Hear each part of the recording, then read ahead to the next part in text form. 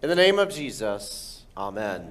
Our text for tonight is Psalm 51, the psalm that we sang earlier, uh, especially where King David uh, writes in verse 17 The sacrifices of God are a broken spirit, a broken and contrite heart, O God, you will not despise. Here ends our text. In Luther's Small Catechism, the question is asked What is confession? And the answer is confession has two parts. First, that we confess our sins, and second, that we receive absolution, that is, forgiveness of sins. From the pastor, as from God Himself, not doubting but firmly believing that by it our sins are forgiven before God in heaven. Again, the first part of confession is that we confess our sins. And this is exactly what King David did in Psalm 51. He said, Have mercy upon me, O God, according to your unfailing love, according to your great compassion. Blot out my transgressions. Wash me from my iniquity and cleanse me from my sin. King David confesses that he has transgressions, he has iniquities, and that he has sins. What sin did King David commit? First of all, he broke the ninth commandment by coveting Bathsheba, another man's wife.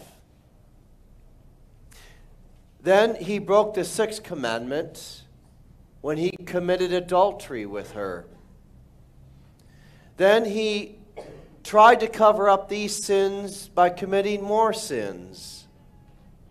And then he broke the fifth commandment by plotting Uriah's death. And the plot worked. Uriah died by the arrows of the Amorites. Have you been so angry at someone that you want to kill them? This happens between siblings and friends and coworkers and family. Have you ever committed a sin and then tried to cover it up? Perhaps you lied about it or blamed someone else. Our sinful flesh never likes to humble itself, and it never wants to be honest before God.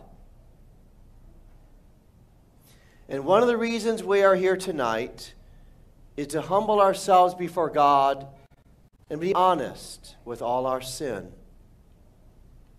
As time went on, King David married Bathsheba in 2 Samuel chapter 11 says, quote, But the thing that David did had, had done displeased the Lord.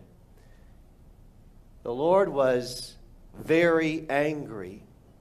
We will learn later on that God forgave King David to be sure of his sin, but David suffered from the consequences of his sin. If you were in God's shoes, what would you do to King David? How would you treat him?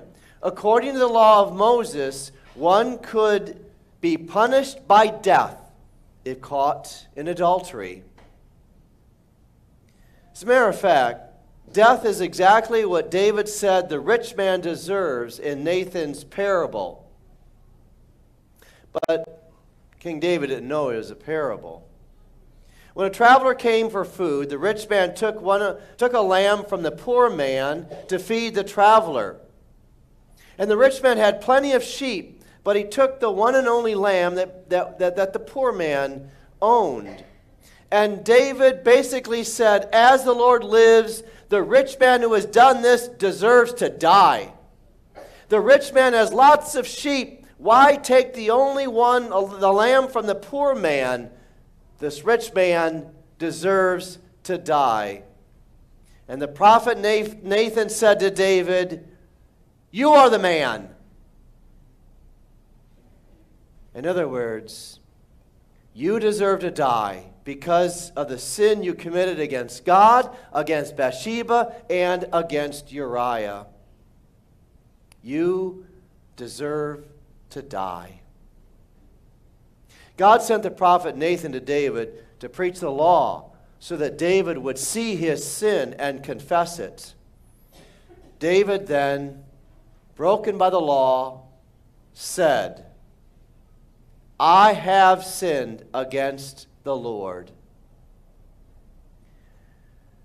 King David also said in Psalm 51 Against you, you only, O God, have I sinned and done what is evil in your sight. And he also said in Psalm 32 When I kept silent, my bones wasted away through my groaning all day long. I acknowledged my sin to you, and I did not cover up my iniquity. I said, I will confess my transgressions to the Lord, and you forgave the iniquity of my sin. How should you examine yourself?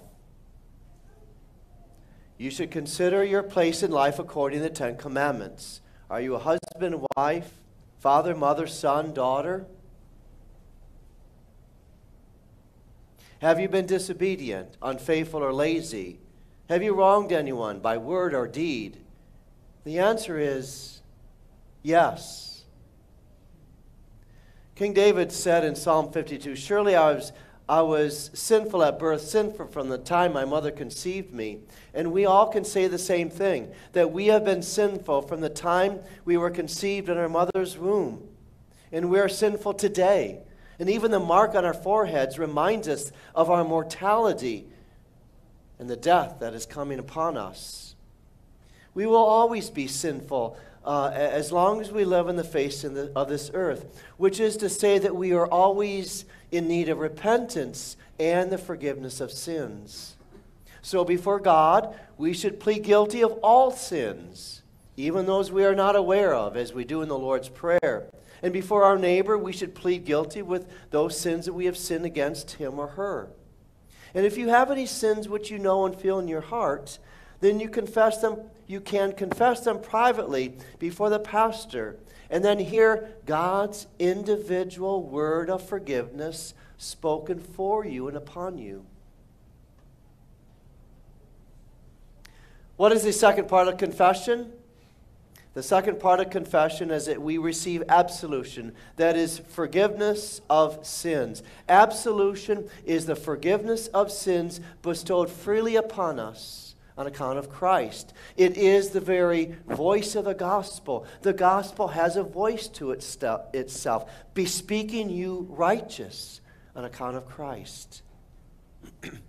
After David confessed his sin, the prophet Nathan spoke absolution, saying to David, The Lord has taken away your sin, you shall not die. David confessed his sin and he received absolution, that is, forgiveness, from the prophet Nathan as from God himself. King David said in Psalm 32 Blessed is a man against whom the Lord counts no iniquity.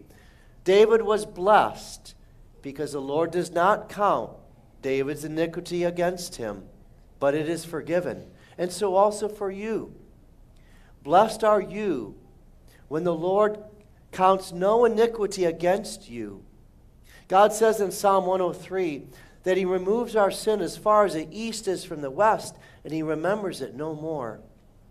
In Isaiah chapter 1, the Lord says, Though your sins are like scarlet, they shall be white as snow. Though they are red like crimson, they shall be as white as wool. So you should regard the absolution spoken by the pastor as from God Himself, not doubting but firmly believing that in it and by it your sins are forgiven before God in heaven.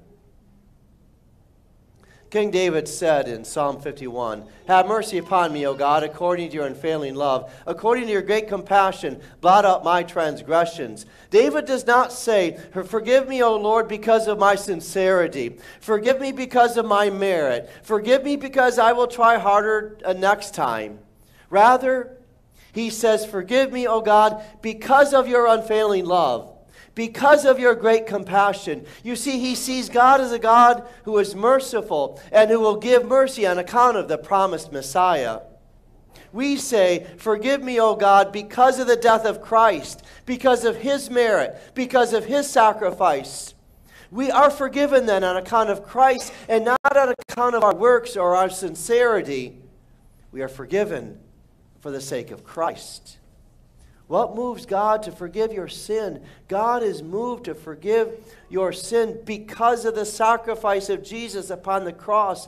God is most gracious and merciful to you because Jesus died for all of your sins. David was supposed to die, but Jesus died in David's place. We are, are supposed to die because of our sins and eternal death, but Jesus died in our place. Therefore, we shall not die eternally, but we shall live.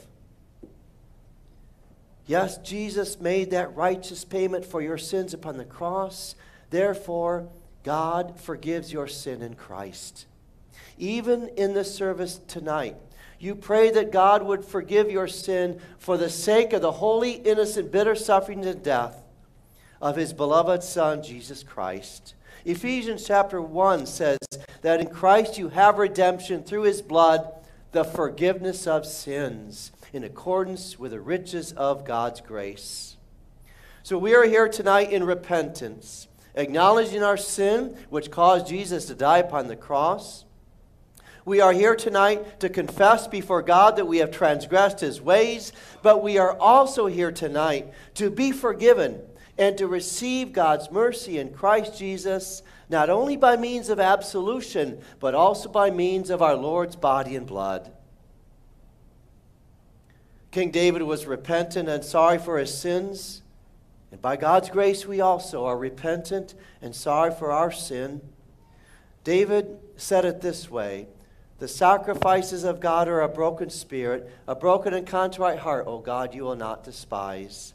A broken spirit means a repentant spirit. A, a contrite heart means a, means a repentant heart. And repentance means that we will turn from our evil way and live. It means that we are sorry for our sin and we don't want to do it again. It also means that we believe, that we have faith in God's mercy and forgiveness upon us. So, since God has forgiven us, may we forgive one another. Since God has been merciful to us, poor sinners, may we have mercy upon others. Jesus said in our holy gospel for today, For where your treasure is, there your heart will be also. Christ and his gospel is our real treasure. Faith looks to Christ alone for our forgiveness. Our heart is centered on Christ alone for life and salvation. Moth and rust and thieves cannot destroy the most precious gospel of our Lord Jesus Christ. So during this Lenten season, when we fix our eyes on Jesus, who went to the cross for us, who was made sin for us, and who rose again on that third day. In Christ, you are forgiven of all your sin. Thanks be to God. In the name of the Father, and of the Son, and of the Holy Spirit. Amen.